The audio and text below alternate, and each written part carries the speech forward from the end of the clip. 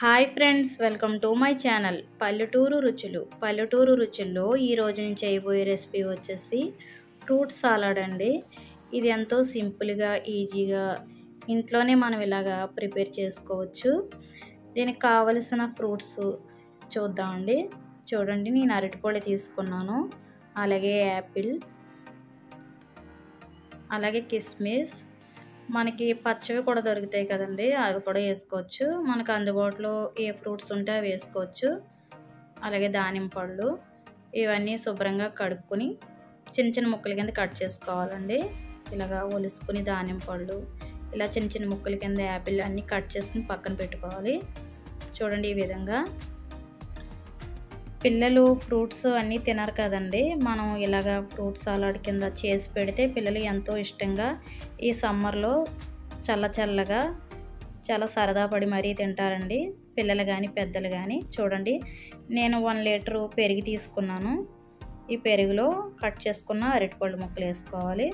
వేసుకుని పంచదార మనకి స్వీట్కి తగ్గట్టు వేసుకోవాలండి.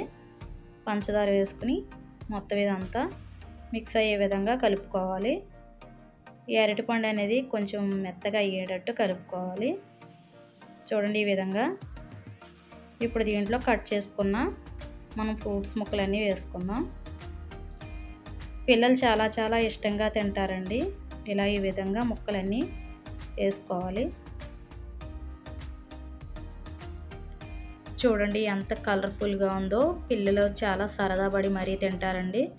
ఇప్పుడు మనం ఇది ఇదంతా కలిసిన తర్వాత ఒక ఐదు నిమిషాలు ఫ్రిడ్జ్లో పెట్టుకుని చల్ల చల్లగా పిల్లలకు పెడితే చాలా ఇష్టంగా తింటారు. చూడండి నేను ఐదు నిమిషాల తర్వాత ఫ్రిడ్జ్లోంచి తీసి ఇలా బౌల్లో వేసుకుని దీని మీద కొంచెం బూస్ట్ కానీ ఆలిక్స్ కానీ ఏదైనా వేసుకుని ఇలా ఫ్రూట్స్తో ఇలా డెకరేషన్ చేసుకుని పిల్లలకి ఇస్తే చాలా చాలా ఇష్టంగా సరదాగా పిల్లలు తింటారండి.